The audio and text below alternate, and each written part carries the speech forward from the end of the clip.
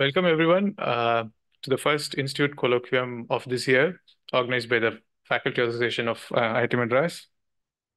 This is indeed an uh, exciting time of the year in the campus. You know, we have cultural and arts event happening right now on campus, which is just following the science and technology event. And it's only befitting that we have uh, Professor L. Mahadevan from Harvard University, who treads uh, between these two worlds with his unique insights. Uh, today, he's going to be talking to us about uh, folds, cuts, and isometries, art, science, and technology. I'll just give a brief overview of uh, Professor Mahadevan's work and his academic trajectory, and, and then we'll get started with the talk. So Professor Mahadevan did his uh, undergraduate studies from this campus, IIT Madras, and he finished it in 1986, followed by a master's and PhD from Stanford uh, in 1995. He was a faculty in MIT from 96 to 2000, and then he was a faculty for a brief bit in University of Cambridge from 2001 to 2003. In 2003, he moved to Harvard University, and he's been there since then and he's affiliated to the he's affiliated to the biology, physics, and engineering schools over there. He has received several awards during his time out there, and I'll just list down a few really important ones. Um, he's a recipient of uh, the MacArthur Fellowship in 2009. For those of you who haven't heard of MacArthur Fellowship, it's also dubbed the Genius Grant. It's given to uh, uh, people for the creativity in arts, humanities, and sciences. Uh, interestingly enough, he was also awarded Distinguished Alumni Award in the same year in 2009 of uh, IIT Madras. He was elected as the Fellow of the Royal Society in 2016, and most recently, he's been elected as a member of American Academy of Arts and Sciences. As someone who has worked with him, I know his rapacious curiosity to know everything about everything. And this has actually led to some fundamental contributions in uh, the fields of biophysics, geometry and mechanics, embodied intelligence, and mathematical physics underlying art forms such as origami and kirigami, and musical instruments such as uh, musical saws and steel pan drums. Today, he's going to share a sliver of his thoughts, and it's uh, an honor to have him here in our campus. Uh, looking forward to your talk, Professor Maha. And I'd like to thank the Faculty Association and the Alumni and Corporate Relations Office for their help with the arrangements. Thank you. Thank you. Can people hear me? Yes, from everybody. Thank you so much, Ganga, for a very kind and generous introduction. And thank you for those who came here instead of enjoying the outside uh, arts. Um, I hope to entertain you in a slightly different perspective, from a different uh, perspective, but associated with questions which perhaps all of you at some point or the other in your lives have um, thought about and maybe played as well. If you remember your high school anthropology or history course, um, you might remember that anthropologists typically um, define different eras of human culture in terms of the ability of humans to master uh, and manipulate forms of matter. Okay, so you have the lithic ages or stone ages associated with the ability to try and manipulate stones, make tools. Um, you have the metal ages associated with the ability initially to manipulate bronze, uh, then iron, uh, copper, and so on and so forth. And so you have the metal and bronze ages. But if you dig a little deeper into your textbooks uh, on anthropology, you will find that there is a parallel culture, and there's a parallel culture associated with the ability to manipulate soft forms of matter, skin, fibers, and their biological, oh, sorry, uh, uh, mechanical, physical mimics, uh, which would be paper and cloth, uh, things that humans invented very early on as they tried to manipulate matter. And if you think a little more about this, you'll recognize that, in fact, there is a strong dichotomy uh, associated with the ability to manipulate matter using brawn, so large forces and high powers, and brain, uh, which is associated with just using geometry and topology and playing with these very, very delicate forms of matter, which required not a whole lot of strength, but a lot of imagination. And of course, artists and artisans have essentially been doing that ever since.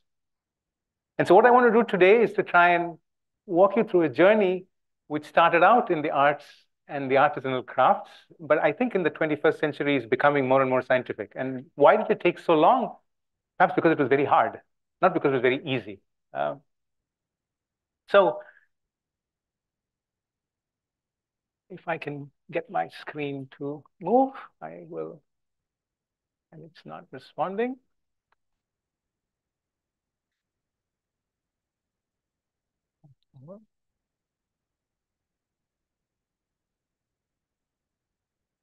Uh, okay.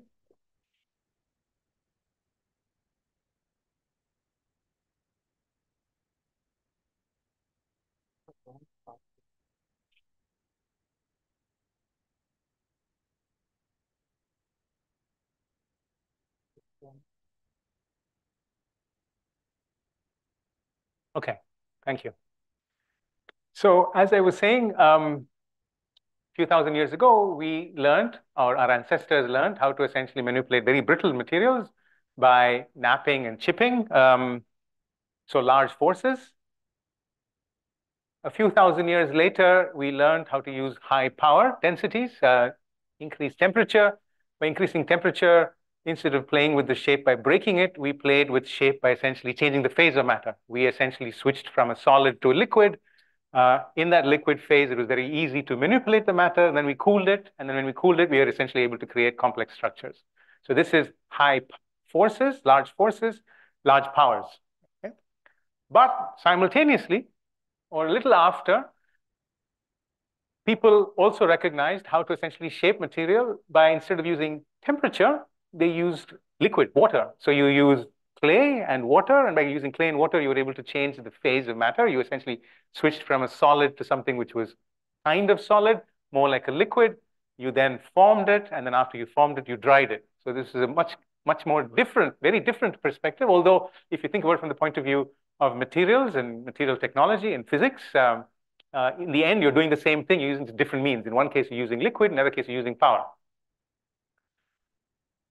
And still later, we started using um, artificial analogs of uh, skin and hair uh, by creating fibers. Uh, fibers essentially starting with cotton and then with silk and a whole bunch of other things. And then it started becoming even more interesting because you could now control topology, so the connectivity of the material, and the geometry, so essentially changing lengths and angles. And by playing with these, we could start controlling, again, Uh, uh, matter by ma controlling shape. And why did we want to control shape? Because as soon as you can control shape, you can essentially start controlling function. Structure automatically, almost always constrains and simultaneously enables function. And so if you want to control structure, you've got to figure out how to control structure.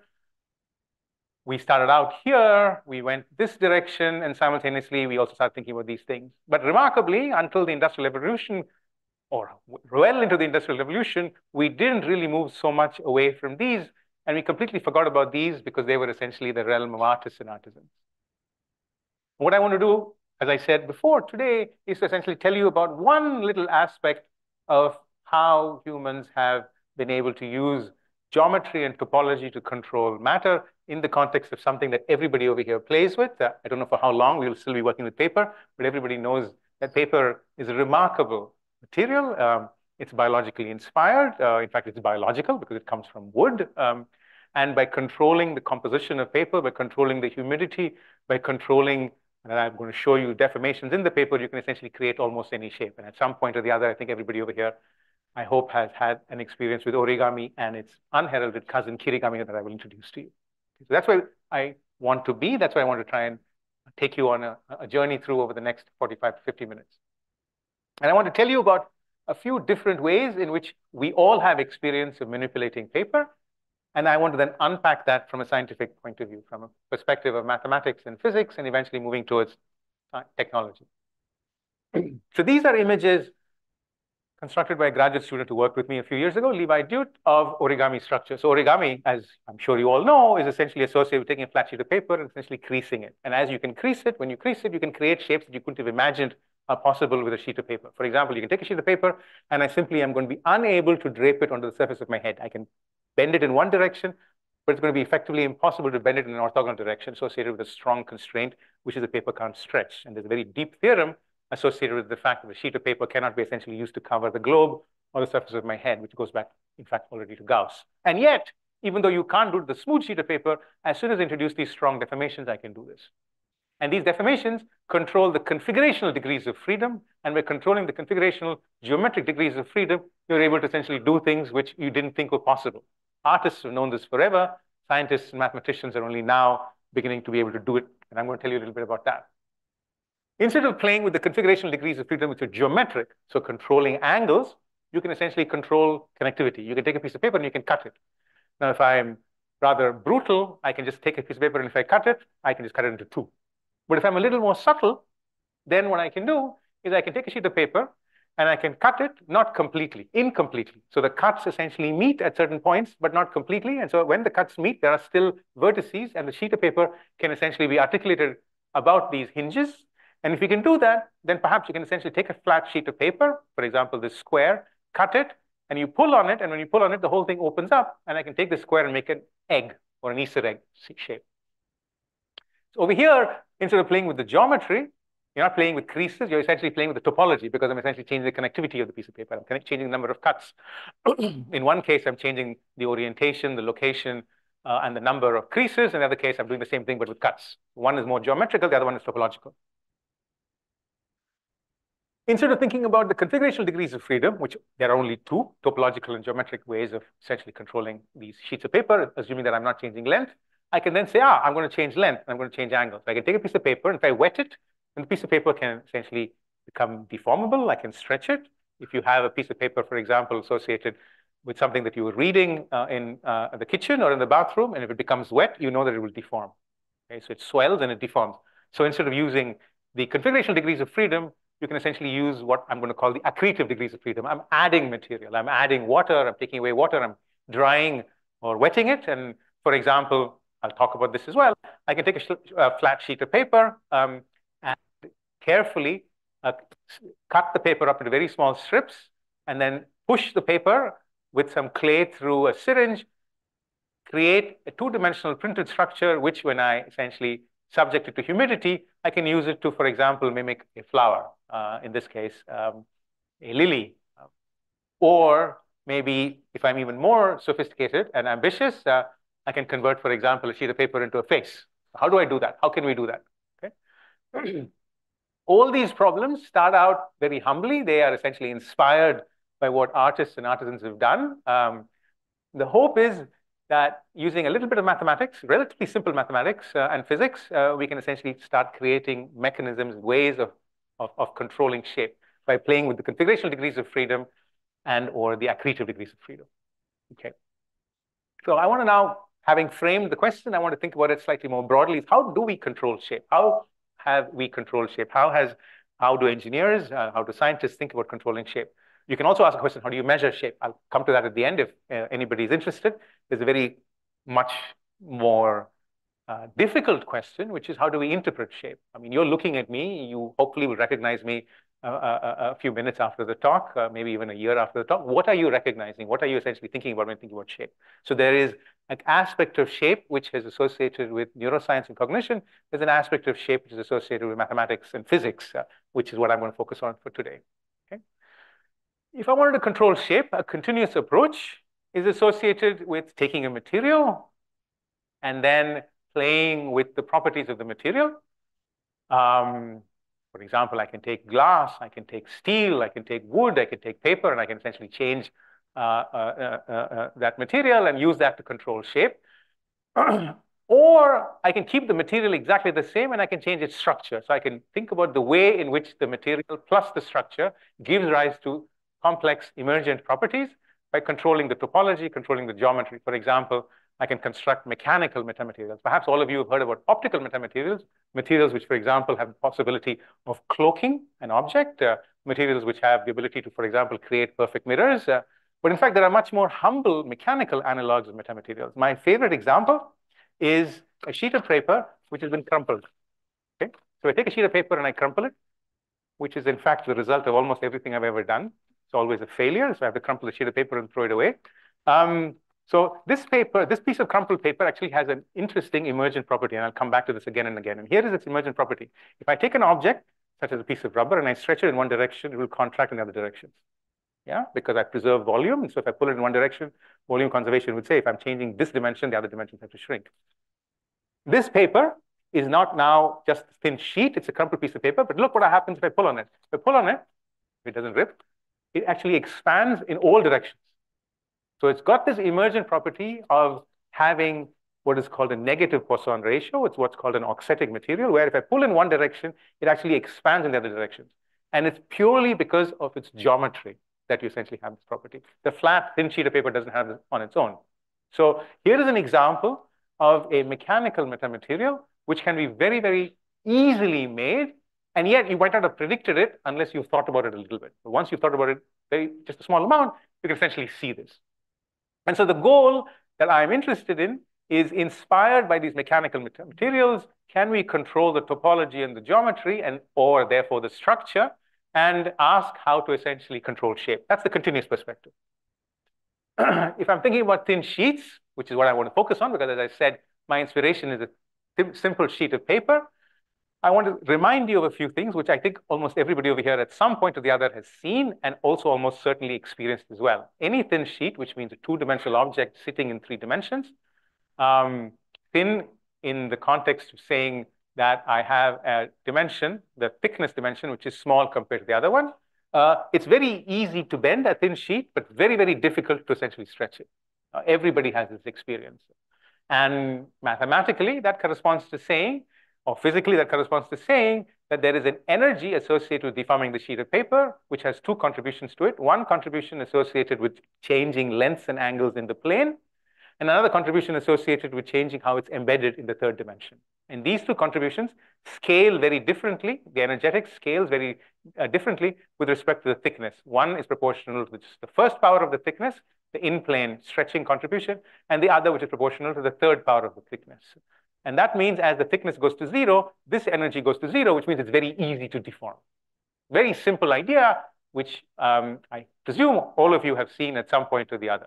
More sophisticated ways, this is associated with the embedding, what's called the uh, uh, metric tensor, and this is associated with the second fundamental form, and I'll come back to that. So as the thickness goes to zero, this is a mode which is very, very expensive. This is a mode which is very easy, and therefore I can take a thin sheet and bend it very easily. So it's very stiff to stretch, very soft to flex.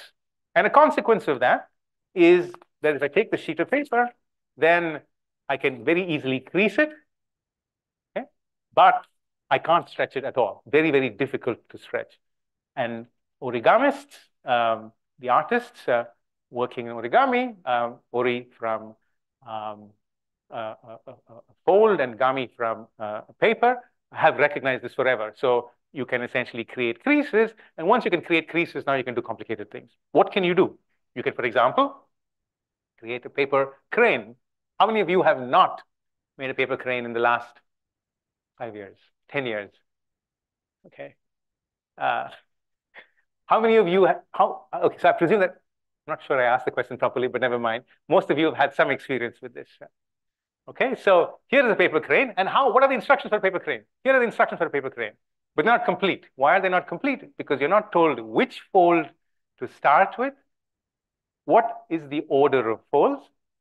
And if I'm not going to tell you the order of the folds, it's a very hard problem. And I'll come back to this. Okay, I'll come back to this.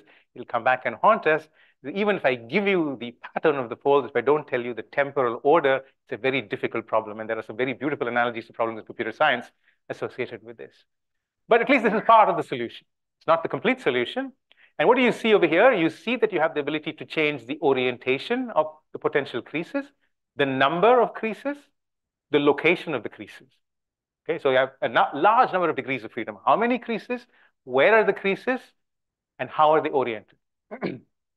What is the building block? You see over here, and this is not the only possibility, but I'll limit myself to this for reasons, again, which I will indicate in a little while, that at every vertex, you have four creases which come together. So every one of these vertices are four creased objects. And um, please uh, uh, uh, remember this because I will come back to this. There is a very beautiful consequence of that. That's origami. If I was thinking about kirigami, Kirigami has cuts instead of folds. There's a very nice duality mathematically, which again, we will come back to. And when I have cuts, for example, I take this set of squares, I glue them together as I've shown over here. at edges, four edges coming together, you can see that I can rotate each one of these squares. And by rotating each one of the squares, I don't change any lengths of the interior of these gray squares, but I open and close the spaces in between. And by opening and closing the spaces in between, I can essentially deploy the structure in the plane. And in principle, I can also deploy it out of the plane. So I can control shape by controlling the creases over here, and I can control shape by controlling the edges over here. And what is the building block? The building block is a hinge where you have four edges coming together. Okay. So if I give you a set of creases or a set of cuts, I can ask a number of questions, for example. Oh, and one very important thing, I said this, but I want to write it out, which will come back to us. Um, I'm not deforming the sheet at all anywhere except along the cuts or along the creases. Everywhere else, I'm preserving all lengths and all angles. So mathematically, I am basically remaining as close as I'm possible as it's possible to being a flat sheet, which means the metric everywhere is the metric associated with a flat sheet mathematically Gij, the fundamental first fundamental form, is just delta ij, uh, the, the metric associated with the Euclidean flat plane. So all the damage that's done is done along a set of measures zero corresponding to cuts in kirigami and creases in origami. Creases and the locations where the creases meet. Okay. That is a continuous approach. Uh, sorry, that's, I'm sorry, that is a discrete approach, uh, what I'm telling you over here, as opposed to the continuous approach. And in this discrete approach, I mentioned this before, you can control the number of creases or cuts. You can control the coordination. I'm going to preserve the coordination for most of the talk. At the end, I'll tell you a little bit about how you can control the coordination as well. You can control the size of the creases or the cuts. You can control the orientation of the creases and cuts. You can control the location of the creases and cuts. And with these five fields, which are functions of space, uh, we can ask a number of questions. We can ask, for example, questions associated with what mathematically we will call the forward problem. And the forward problem is you give me this structure or this crane, and please tell me how, if I pull on it, will the object respond? What are the mechanical properties? What are the electrical properties? What are the chemical properties? If I basically am thinking about this not just in terms of sheet of paper, but a sheet of an electrical material, for example, where I want to use as an antenna or something of that sort. I today will not tell you anything about the forward problem. And the reason I won't tell you anything about the forward problem is because I was inspired by, I tried to convince you that you should also be inspired by the problem associated with what artists and artisans have done, which is the inverse problem. And they have this remarkable imagination where they say, ah, I imagine a crane, I imagine a dragon. How in the world should I take a piece of paper and introduce folds at the right places and then give instructions not just to, to myself, but to you so that you can create your own dragon or your own crane. So the inverse problem is far, far more interesting than the forward problem, and which is why I want to focus on that today. In particular, how do I design these different fields? How do I design the number, the coordination, the size, the orientation, and the location of creases or cuts in order for me to be able to take a flat sheet and convert it to a dragon, convert it to a hat, convert it to a set of you know, expensive clothes or whatever. So that's the framework, that's the question. And I'm going to start with origami and I'll walk through some examples in origami, and then I'll tell you about kirigami very quickly, because once you understood how to do this in origami, if I've understood how to essentially characterize the mathematical constraints, then we can essentially turn the crank in kirigami as well. so how do we start? Where do we start? Okay.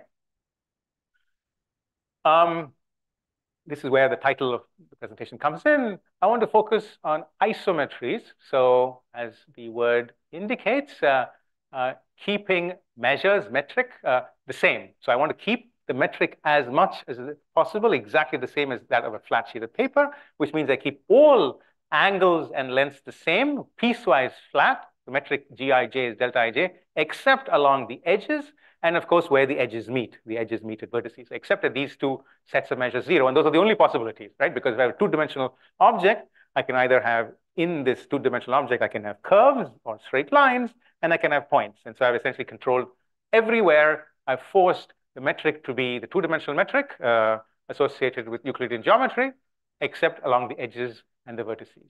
And then what are the degrees of freedom that I'm allowing you? The degrees of freedom are associated with rotations. Why do I think about these as rotations? Because if I have a facet here and I have a facet there, the only degree of freedom that I have left is a rotation. If I have a curved object, it's more curved crease, it's a little more complicated. If if I have a straight crease, I have rotations. But these rotations are three-dimensional rotations because depending on where I have the creases, I essentially am rotating things uh, in different directions. And it's a very difficult, I want to try and convince you, it's a very difficult problem in general to try and coordinate all the rotations because I'm not allowed to tear the piece of paper. Okay? So we'll come back to that as well. And you can decide a priori whether you want to prescribe the topology, whether you want to prescribe the coordination of the creases or the cuts, or whether you want to prescribe the geometry, or you want to prescribe neither. Okay? For the most part, I'm going to prescribe the topology. So I'm going to use four coordinated vertices, and I'm going to control the geometry. How do I essentially move these creases around so that I can essentially solve this problem? Eventually, I'll tell you about how to do the second. We don't really have a way of how to essentially combine. Very, very hard problem in, in, in mathematics. Okay, where do we start?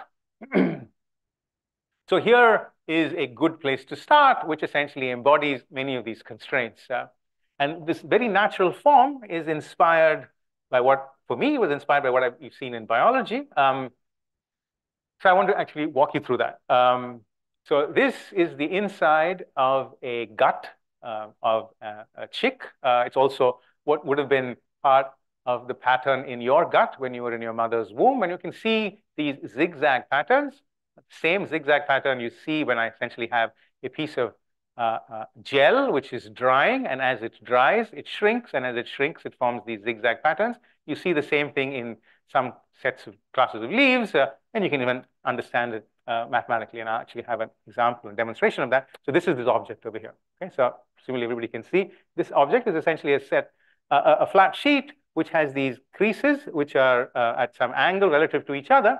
And this object has the same properties that I told you that the of paper has. Namely, if I pull on it in one, uh, in, in two directions, which are parallel to each other, then the whole sheet expands. Most materials will not do that. Most materials, if I pull in uh, uh along a direction, they will contract orthogonal to it. So this already has these, this, this, this object has very interesting um, properties purely because of its geometry.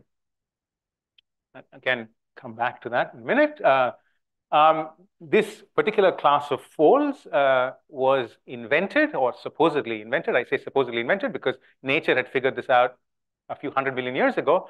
Uh, Japanese uh, astronomer and engineer uh, Koryo Miura uh, basically came up with this design. It's a very clever design in order to resolve the following problem. Uh, I think all the young people over here don't know what maps are. I actually do remember what maps are. Um, um, what are maps? Well, maps are essentially a way to compress information that's spatial onto a piece of paper, which you can fold and put in your pocket or uh, somewhere in your car dashboard. Um, and it's very easy to open a map. You just keep opening it so that the area increases. Uh, very difficult to close a map because you have many possibilities. Every fold has two possibilities. If you have n folds, you have two to the n possibilities. So it's an extremely frustrating experience to fold a map. Um, and the remarkable thing is that you have two to the n possibilities for folding uh, a map only if the folds are orthogonal to each other. If the folds are not orthogonal to each other, all the folds couple immediately. And so it's a testament to the tremendous stupidity uh, of humans that it took until Miura uh, to figure out that all you had to do is essentially have the folds non-orthogonal to each other and all the folds will couple. And therefore, the problem of essentially folding and unfolding goes away because you essentially can unfold or fold the entire map in one motion. Okay, go figure. Anyway, for those of you who, who know about maps, uh, that's great. If you don't know about maps, forget about it. Just a cool, cool fact. What are we trying to do? So these objects that I'm showing you over here, as I hope you can see visually, uh, are essentially just generalizations of this. The same folded pattern you see in the gut, you see in leaves, you see in drying gels, um, you can even compute. what do you want to try and do? What do you want to try and do is go from this nice periodic structure into some complicated shape. For example, can I essentially take a sheet of paper and can I wrap it around a torus, uh, wrap it around a donut? Um, uh, that would be a dream. We can't quite do that yet. I will again tell you a little bit about where we are. Uh, but I don't want to end up over here. Okay, because that's a disaster. That's, as I, as I said, the result of a, a, a failed experiment. Uh, how do we control the orientation the location, the number, and the position of the folds so that I can take this periodic structure and then deform that in order to create a hat or a dress and whatnot. Mathematically, There's a very beautiful theory going back to the work of John Nash uh, and Misha Gromov associated with what's called convex integration theory, which begins to address these questions in a particular limit. And I'll leave it at that. I'm not going to essentially tell you more uh, uh, uh about this idea. But in a nutshell, what Nash and Gromov recognized is as soon as I give up degrees of continuity, continuity of the second derivative, um, I can start accommodating very, very complicated shapes in terms of sheets of paper where I have folds and hierarchies of folds, folds within folds, and so on. In our case, we're looking at a hierarchy which is very simple. I have just one layer of folds, not folds within folds. And that in that one layer of folds, I can control the location, orientation, and number. What can we do with them? Okay. What is the unit cell? The unit cell is this object over here. Uh, four plaquettes connected together, and these four plaquettes can be folded. And again, I'm going to make a demonstration for you of that with this with this object. Um, so the fundamental unit cell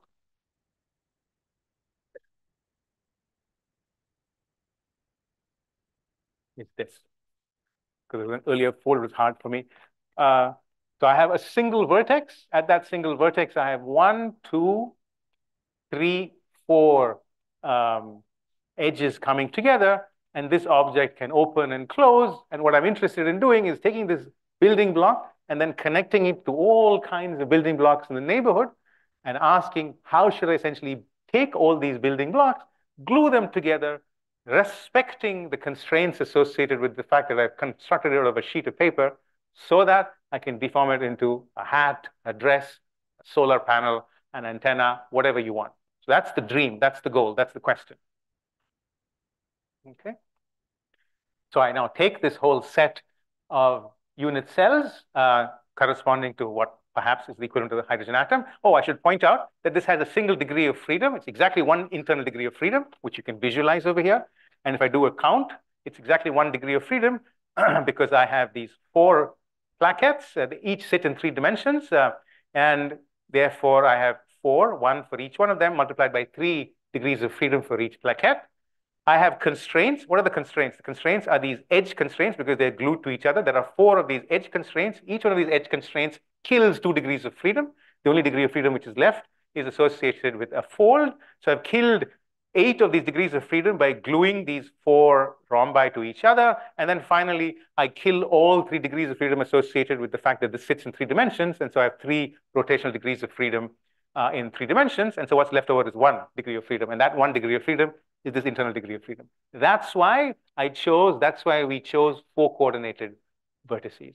Once I have four coordinated vertices and I connect any number of them, I will still have exactly one global degree of freedom, which is wonderful because that with that one global degree of freedom, I can open a map and I can close a map in one shot. It's very, very, very nice to be able to do that. What are we going to dream? What are we dreaming about? What we're dreaming about is to now ask whether we can give up this condition of nice periodicity, but still preserve these properties. Why? Because then I can make it of a flat sheet of paper. So I can essentially try to mimic an artist. What are the properties? The properties are that it's developable, which means that it's piecewise flat everywhere except at edges and vertices. It's what's called flat foldable because I have two states, both of which are flat. This is open and flat. I've completely folded it. It's also flat. So it's flat foldable. So I can fold it, put it in my pocket, and walk away. It's also rigid foldable. Rigid foldable now is associated with the process. Flat foldable simply tells you that the end state and the beginning state are flat. Rigid foldable says that now I have an infinite one parameter family of deformation, which essentially takes me from the beginning to the end. Um, a single degree of freedom. I told you that this is very unlike a, the usual kind of map where I have two to the n degrees of freedom, and it has negative Poisson ratio. So if I pull in one direction, it expands in all directions. And we'd like to preserve these properties in green, give up the property in red because periodicity understood, very easy, break periodicity, but by breaking periodicity, then I can essentially deform it, as I said, to make a piece of art.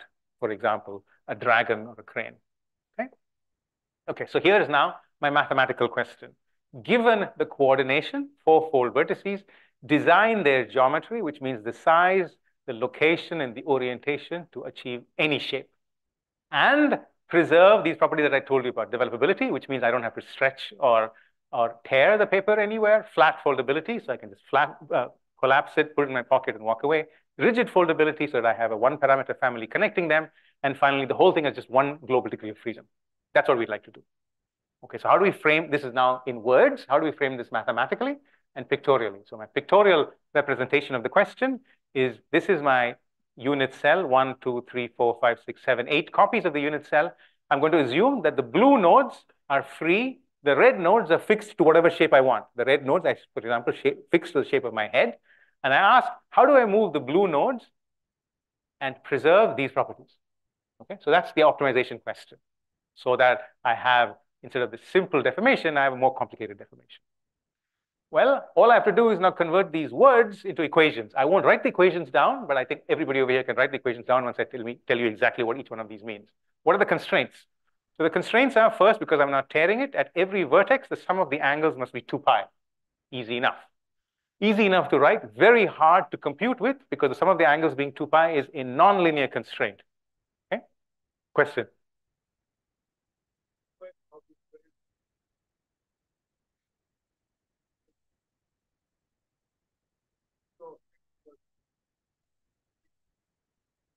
Ah, yes, because I was thinking about a single uh, um, unit cell. As soon as I have multiple unit cells, now what I'm going to do is I'm going to preserve the coordination. Therefore, each one of the vertices essentially is connected to four edges, but I'm going to allow you to move the edges. Now, if how do you move the edges? I can't move the edges arbitrarily because I have to preserve these properties. Okay, so I preserve the topology, I control the geometry. I won't unfortunately have time to tell you about preserving the geometry and changing the topology. And finally, we want to essentially not preserve the geometry or the topology, the full freedom that every artist who's ever done origami does. We don't know, we're not there yet. Okay? Um, all right, so some of the angles must be 2 pi, easy enough. Every, every one of these uh, facets must be flat. Okay, so that means the volume of the parallelepiped that I can construct with one, two, three, four vertices must be zero all of them must be flat. Another nonlinear constraint, okay? Because the volume is a scalar triple product. I'm sure you all remember this. What else? What are the other constraints? So these are the simple constraints. Volume is equal to zero. Sum of the angles equal to 2 pi. There's a nonlinear, non-trivial constraint, sorry, also nonlinear, non-trivial constraint, and I want to demonstrate that for you. There's a third constraint, which every origami artist knows. It's very beautiful. And the constraint is the following. I think you can all see. So you see that this fold, uh, there is an angle between this edge over here and this edge over here. Okay, this visible angle over here. This angle can be written as the difference between this angle at the back and the interior angle. Okay, can be written as the difference between this angle, sorry, and this angle. But it can also be written as the difference between that angle and that angle. Okay, so now, if I write that out explicitly, you find a second very non-trivial constraint, which means that the sum of the opposite angles, alpha 1 plus alpha 3, must be equal to alpha 2 plus alpha 4. And because the sum of both of all four of these is 2 pi, alpha 1 plus alpha 3 is equal to alpha 2 plus alpha 4 is equal to pi. And this is the condition of flat foldability because I've been able to flat fold it. Okay, and this condition is known to origami artists. It's also known to geometers. Riemannian geometry associated with trying to ask how you can essentially embed uh, complex surfaces in lower dimensions. Uh, in this case, two, two-dimensional surface sitting in three dimensions and flattening it out onto, uh, uh in, on, onto the Euclidean plane. And this condition, all these conditions must be true at every vertex. And I have to now satisfy this. It's a very nasty optimization question. Okay? What is the optimization question? Determine the free vertices, determine the, how to fix, the, how to move the blue nodes in order to satisfy these conditions. How do I know that I'm already getting the shape that I want? Because the red nodes are attached to the shape that I'm interested in. So move the blue nodes in order to satisfy these conditions, which mathematically written over here, so that I can take a flat sheet and deform it on the shape of my head, for example. Okay, so I can minimize some measure of the distance of the vertices. I can use the Hausdorff distance, or I can use the Euclidean distance, it doesn't matter, subject to the planarity constraint, which is this one, developable constraint, uh, and the flat foldability constraint. It turns out that the flat foldability constraint is the hardest one to satisfy. You can't satisfy all these conditions exactly. Um, there's a theorem. I'm not going to get into that, uh, but you can satisfy them approximately. So you now are reduced to a numerical search. And the numerical search is approximate flat foldability. Uh, and the idea of the theorem is the following. idea of the theorem is if I go from this facet to that facet, I rotate. If I go from here to here, I rotate again. If I go from here to here, I rotate again. And when I come back, I have got an identity, which means that the product of rotations as I go around any loop must be always the identity matrix. And that should be true for any loop of any kind anywhere. That's a very, very hard constraint. It's a topological obstruction for the construction of origami. And you cannot, in general, satisfy that exactly. If you can satisfy that for any non-trivial shape, the theorem says I have an entire degree, entire one-parameter family of solutions going from the original flat sheet to the current sheet all the way to flat foldability. So in general, it's very difficult. So we have to do it uh, numerically in general. We can do something analytically. I'll just show it to you and we can prove a theorem. I'll simply show you the result. So here is a construction. You give me an arbitrary curve in the plane any curve in the plane, and I can show you how to essentially construct a discrete approximation to that arbitrary curve, which will allow me with arbitrary accuracy to come close to that curve and also collapse in the third dimension, as you can see over here. So that's a constructive, that's a theorem. The construction is literally by a whole bunch of reflections, and you can make these reflections more and more refined, and as the size of these facets becomes smaller and smaller, you can get higher and higher accuracy. Okay?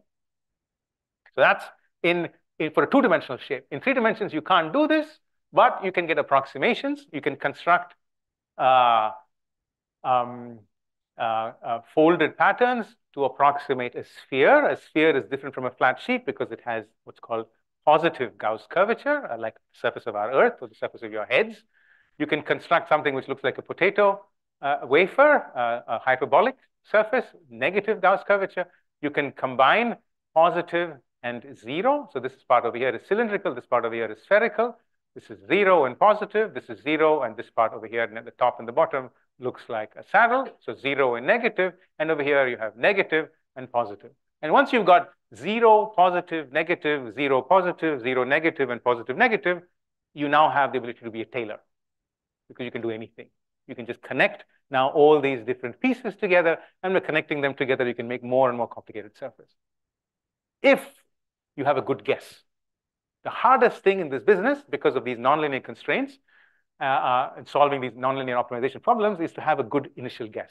And it's not an accident that except for this one, these are all axisymmetric, because for axisymmetric surfaces, we have reasonable, easy ways to guess. So Levi Dudte essentially computed these using an off-the-shelf uh, nonlinear optimization program in MATLAB. I think it's called FMinCon. Um, and then he, he took a couple of weeks after the problem had been formulated, and he took a couple of months and he created these physical instantiations. Each one of these is an actual experiment. This is computation, where you can construct analogs of these things. So that's nice. Now I come to this problem that I told you before. It's nice to show you the end result, but it's not at all obvious for me to describe to you how you got there. Where did you start? How did you essentially introduce the folds? Hold that thought. I'm going to come back to this.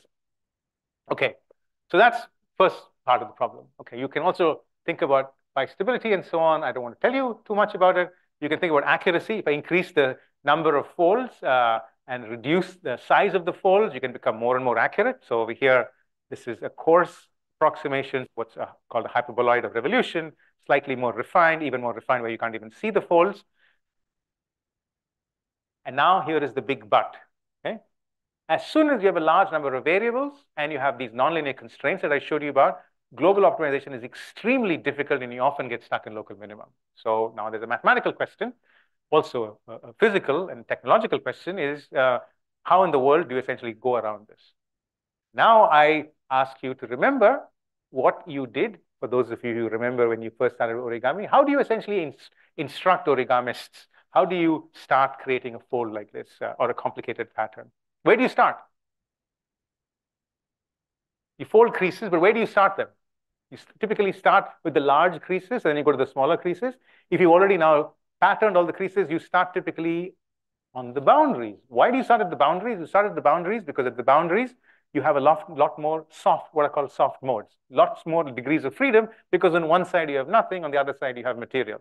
So all the soft modes are essentially sitting on the edge. You start at the edge and you start moving inwards. As soon as you recognize that, you say, why should I be using this global optimization process? Why not essentially grow origami?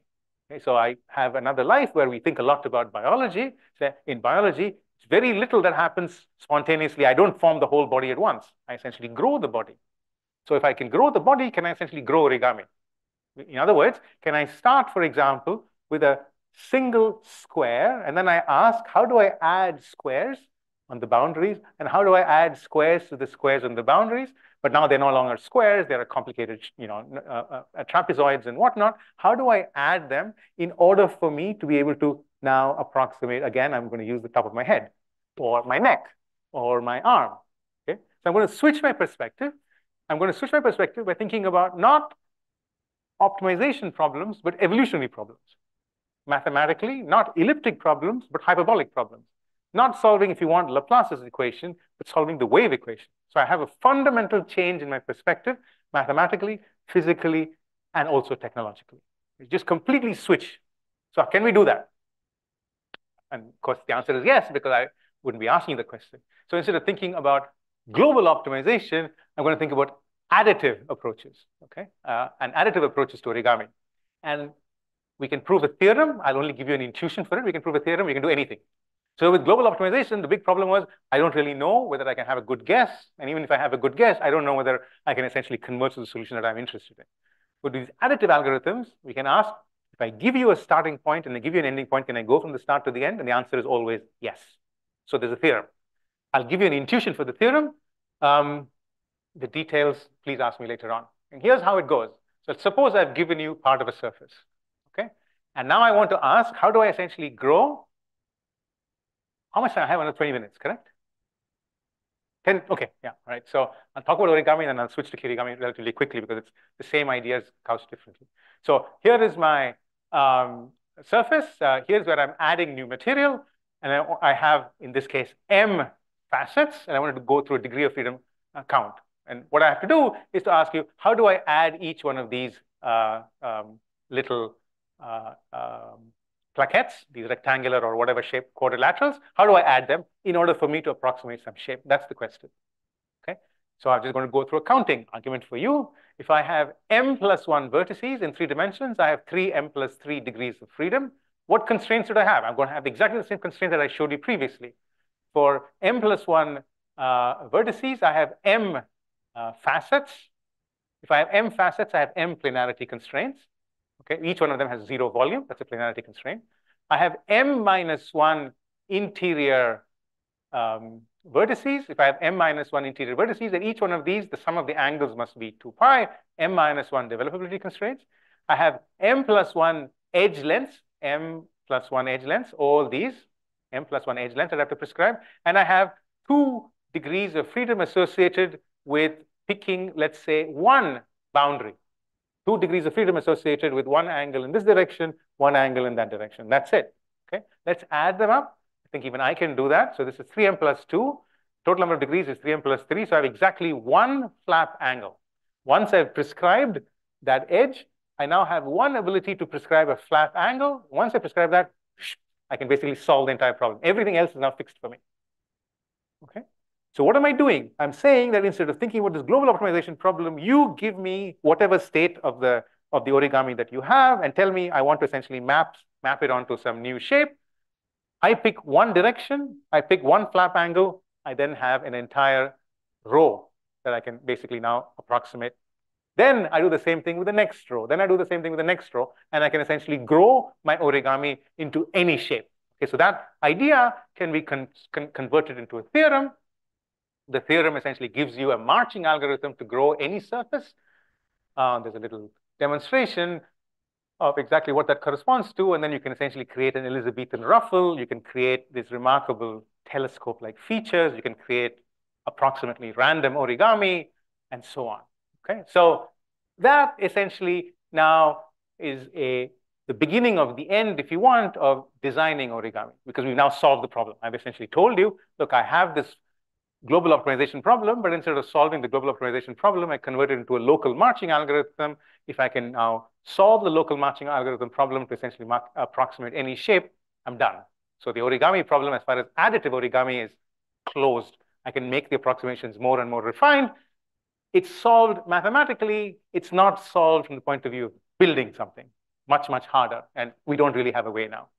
Okay, can I now take this idea and in a way convert this to a, a kirigami question? So I want to solve exactly the same question, but in kirigami. And I want to remind you what kirigami is by showing you this video, which comes from a group in Canada, um, inspired by some very beautiful Islamic tiling patterns.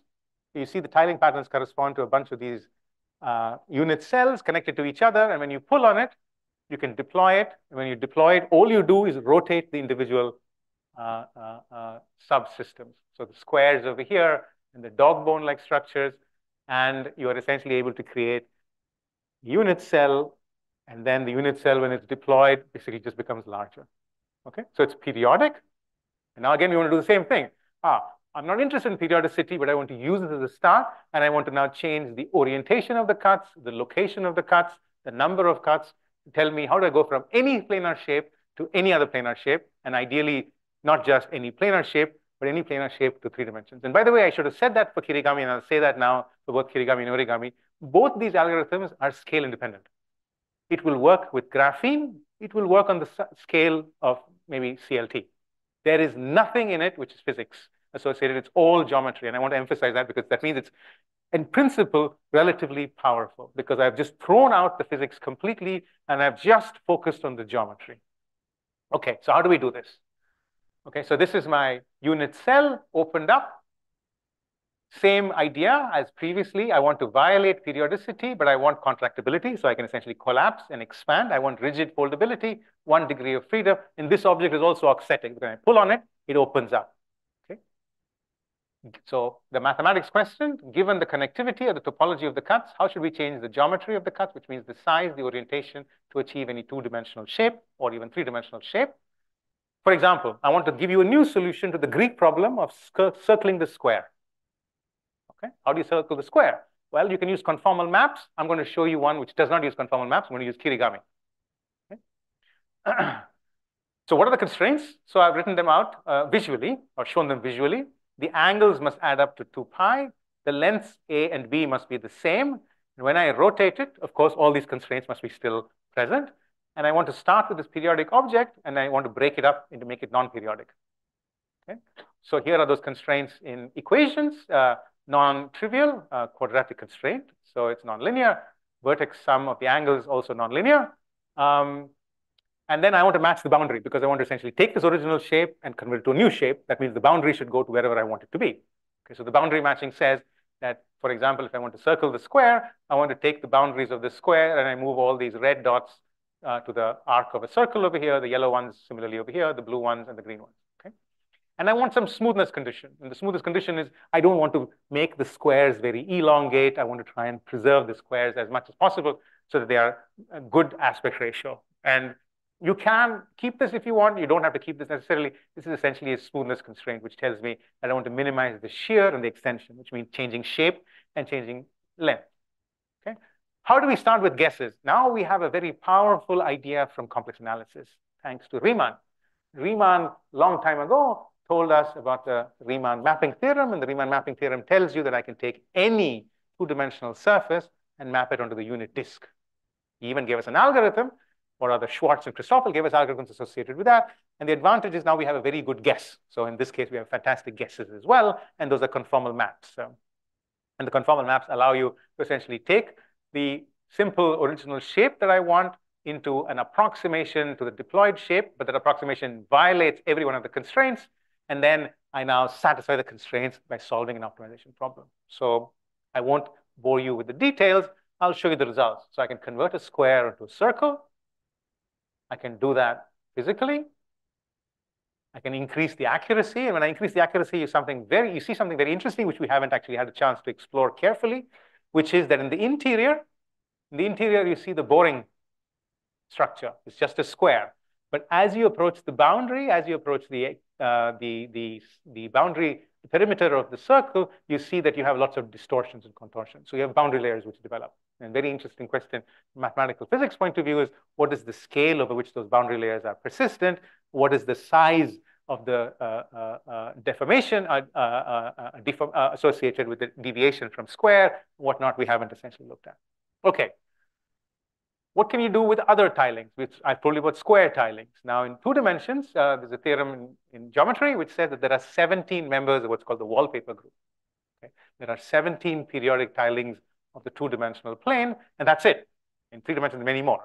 So can I convert every one of these 17 members of the wallpaper group into Kirigami patterns? And the answer is yes. And I'll just show you images. Okay. So you take every member of the wallpaper group and you can essentially convert it into Kirigami pattern. Then you can ask, can you do this not with periodic, but with aperiodic objects? Of course, the most famous is the quasicrystal or families of quasicrystals. And again, I won't actually go into the details. Uh, I'll simply show you one realization of a Penrose tiling. And the Penrose tiling has essentially been converted into Kirigami structure. You can open and close it. Again, non-unique. There are many different ways of doing it. This is one realization.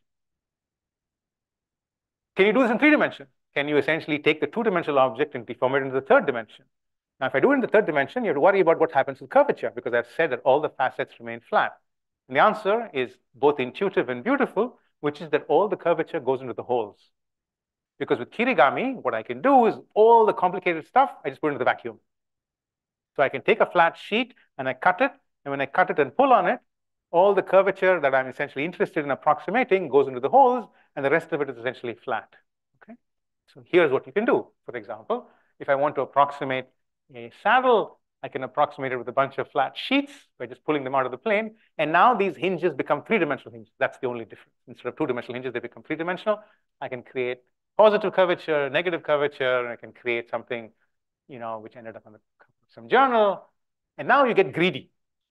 When you say, oh, I started with something which was closed and I opened it. But can I start with something which is closed, open it, and close it again, and it doesn't close back into the same thing? Can I do that? Because that'd be even more amazing. Can I essentially have kirigami where I pull, pull, pull, it keeps opening, and if I keep pulling on it, it closes again, but it closes into a different shape.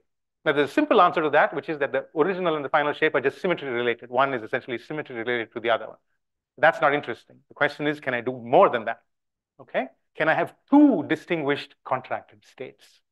The answer is, we can try. All you got to do is recognize the constraints. And what are the constraints? So initially, when I pull on this, this edge and this edge must have the same length, this edge and this edge must have the same length, and theta 1, theta 2, theta 3, and theta 4 must add up to 2 pi. But as I keep pulling on it, these two edges come together. These two edges come together because I'm rotating them. So now I have additional constraints, and additional constraints are these other angles, the outer angles, because I rotate them, they come inwards, and the outer edges come inwards. So I have now additional constraints.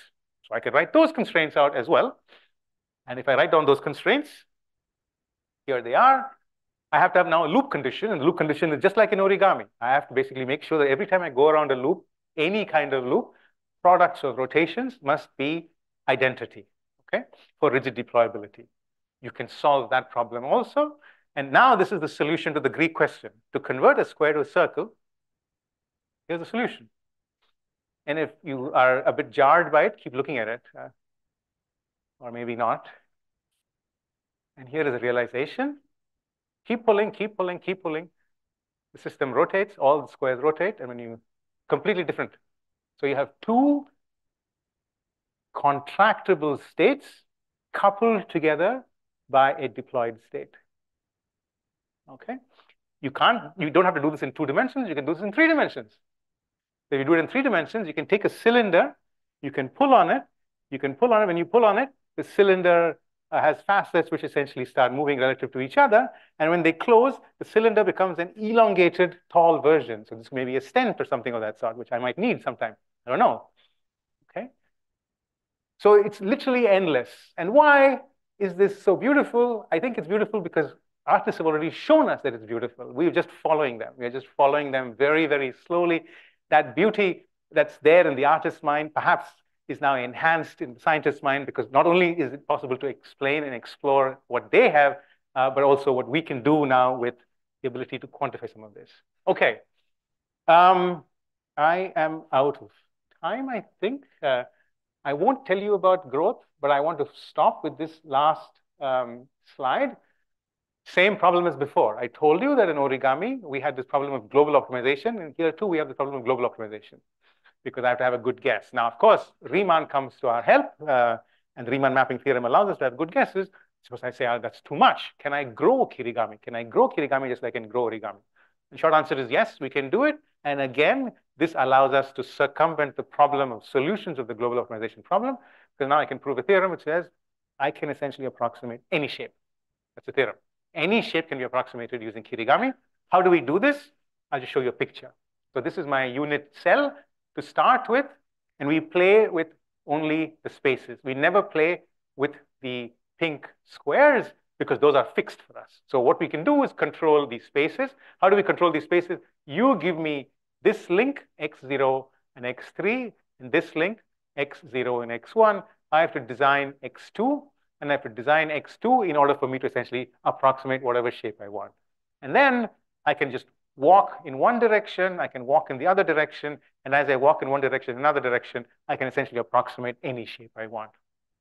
And that corresponds to just matrix multiplication. I won't go through this, but again, here now is a possibility. So this shape, deployed, contracted, completely different. But now doing it using additive approximations rather than uh, uh, uh, global optimization.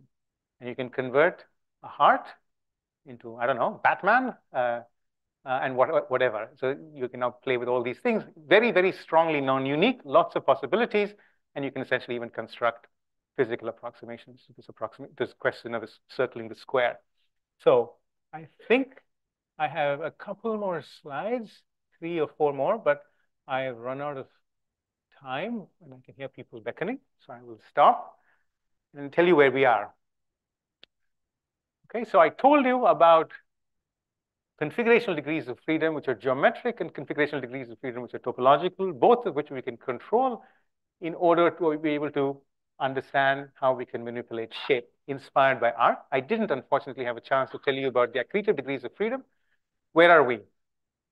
I only solved the geometry problem. I did not touch physics. Uh, uh, the physical problem is associated with understanding how you can now also build in mechanical response, in particular stability or instability, and dynamics associated with swelling, stitching, and so on and so forth. Uh, where are we? Um, folds and cuts coupled with this strong condition of isometry allows us to start moving towards morphogramming, so the ability to control shape by playing with geometry and topology, as artists have been doing for millennia. I told you a bit about inverse origami design, controlling shape by a geometric control, both globally and locally. The same thing for kirigami. I'm happy to talk to people later on by flipping the question around and saying instead of preserving topology and controlling geometry, I can preserve geometry and control topology, and I can use that to control rigidity, which is a question of great interest in the context of, of, of statistical mechanics and continuum mechanics, both in origami and kirigami. Ideally, we'd like to do both. We don't have the ability to do both. We can also lift this problem into higher dimensions for fun, not for profit. Higher dimensions associated with asking, are there prismatic analogs of that? Uh, mathematical questions about impossibility theorems. I think now we have proofs that there are no impossibility theorems. You can do everything. Variable microstructure, that comes for free. Um, and I want to stop by showing you a very beautiful set of images from a very famous mathematician called William Thurston. William Thurston was a topologist, one of the great topologists of the 20th century. Um, uh, he is probably most well known today for what is called the Thurston geometrization conjecture, of which the Perelman proof for the Poincare conjecture is one tiny part. So Thurston, his last one of his last papers in his life uh, was working with an artist in trying to ask the question of what can you do with folds and cuts. So give up this eternal dream associated with calculus of continuity and smoothness. Be wise, discretize. once you've discretized, what can you do? Give up these old ideas that we are used to. In the 21st century, perhaps we should be everybody talking about digital. Uh, um, so discretize, what can you do as soon as you start approaching these problems from a discrete point of view? And it seems like the limits are almost boundless. Thurston started addressing these. Um, hopefully, some of you young people over here will continue that. Um, he also worked with uh, fashion designers like Issey Miyake, with uh, uh, uh, artisans who wanted to try and ask how you can essentially construct complex shapes with cuts and folds. And I'll stop by recognizing that all this work was possible because I've had the opportunity to work with some remarkable students um, who got their PhDs uh, on these subjects with me. Gary Choi, who's now professor of mathematics at uh, Chinese University of Hong Kong, Levi Dudte, who's a financial trader, Siheng Chen, who's also a trader, Lucy Lu, who's an undergraduate, who's now a graduate student with me, and Caitlin Becker, who's now a professor at MIT. Thank you very much.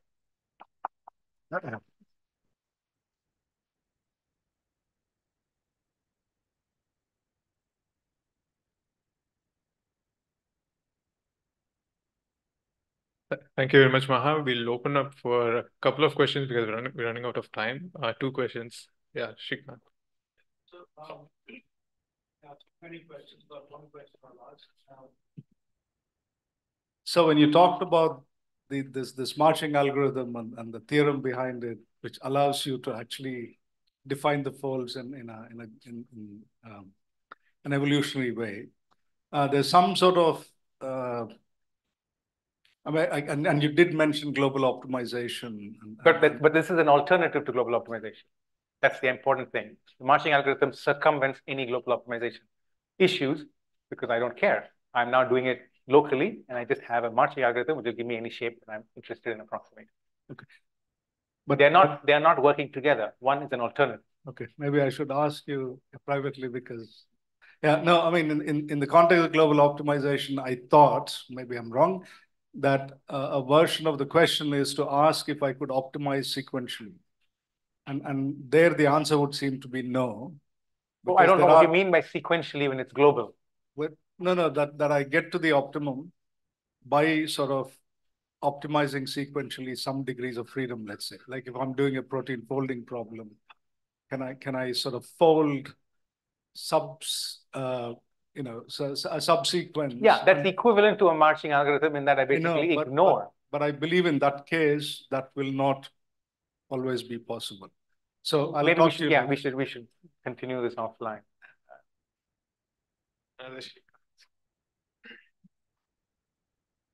Uh, Ma, is the is that auxetic part is it so fundamental? It seemed like no, uh, no. It's fundamental if you're thinking about it from the point of view of physics or mechanics or whatever. No, for for me, it was not particularly interesting. So you could design, so instead of designing shape, you could design the auxeticity if you like.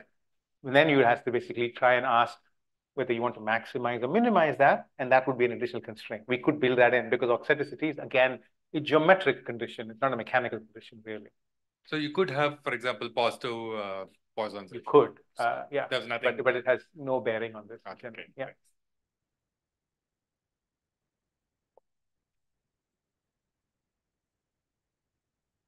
One last question.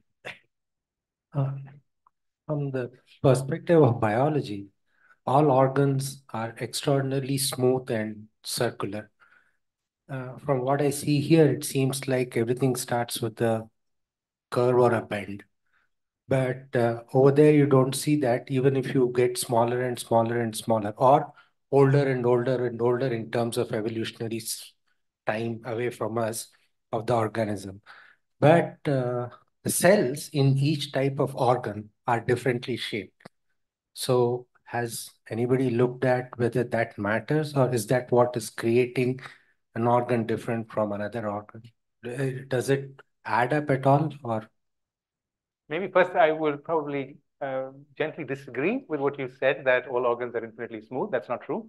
Uh, you can have different degrees of smoothness. For example, your lungs essentially are not um, infinitely smooth in the sense that you have structures, you have hierarchies. So I'm not sure I understand what and where you're going with that question because, for they're example, generally they're not sharp. They don't have sharp edges.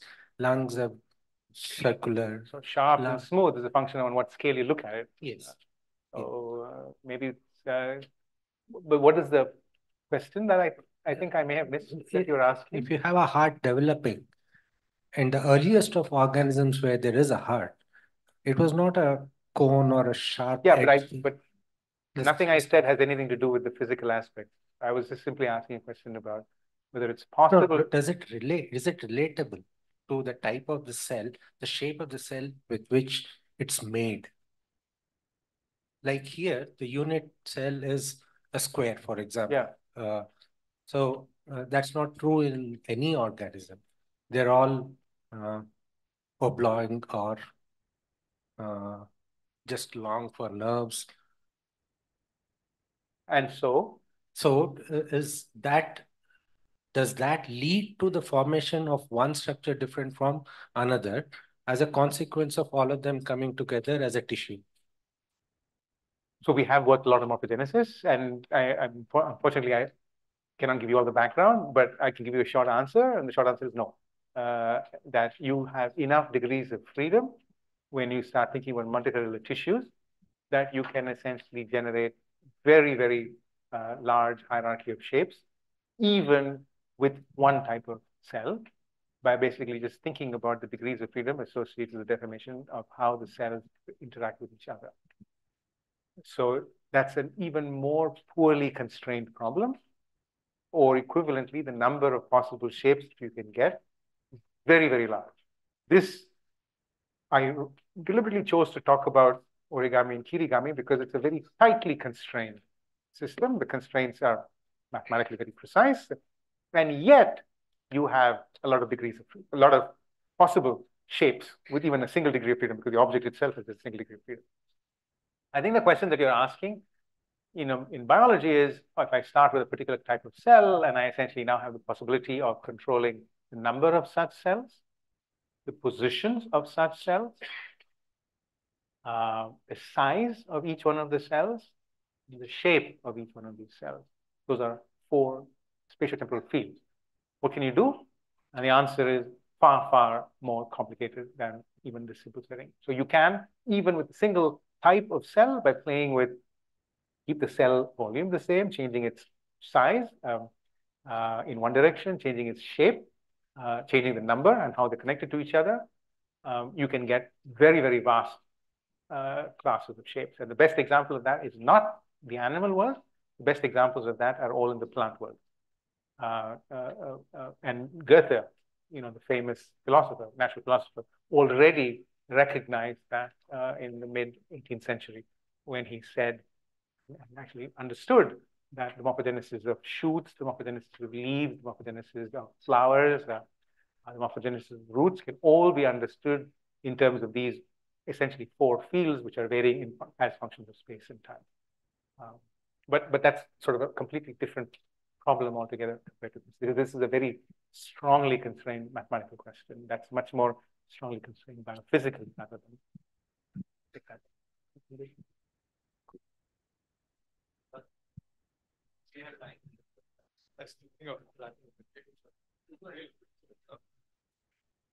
Go ahead if you want to ask one last question, Pamela. I did. But most of the structures none of them are periodic. The the the, the appear periodic, the quasi periodic, they're not really periodic.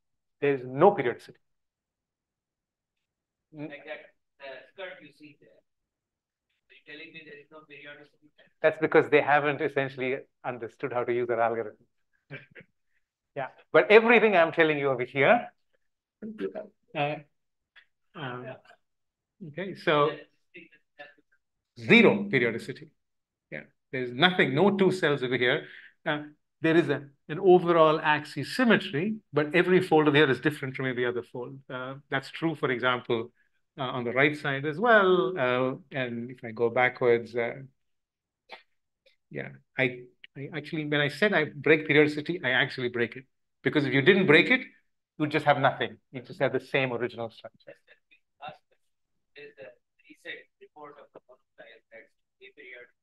Correct, I know. Yeah, yeah. That you be able to incorporate one of those geometries. Yeah. With the monotile, essentially can tile only the infinite plane. What can you do with an infinite plane? So using the overlaid on top of the tile, you now create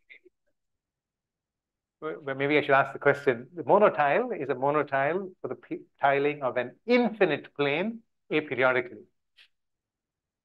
I mean, it's a nice mathematical question, but has no bearing on anything that I'm telling you about for a very simple reason.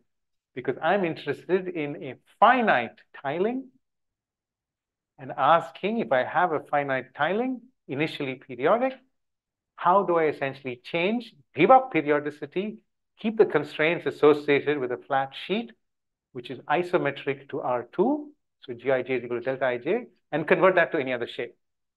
The monotile is still an ideal in the sense it's only in the case of an infinite tiling of an infinite plane where there is a single tile which will give you complete aperiodicity. But that's only true in the infinite domain. And as soon as I violate constraints associated with who's talking to whom, which I have to do in Kirigami, or where the folds are, which I have to do in origami, all that is not relevant. Thank you very much, Mahan. Uh, as as as uh, part of the organizing team, my request uh, Professor Mahesh Panchagnula, uh, Dean, Alumni and Corporate Relations, to present a small memento to Professor Mahadevan.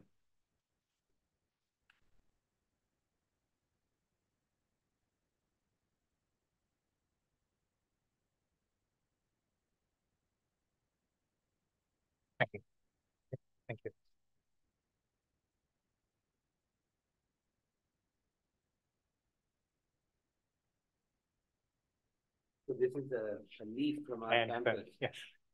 I've studied these things. Thank you very much. From our real campus. Yeah. Thank you very much. Thank you. Yeah. Very nice. Thank you so much. Thank you, everyone. I had known that I was going to get to that, I would have talked about leaves. Hi. Thank you. Hey, how are you? Good to see you.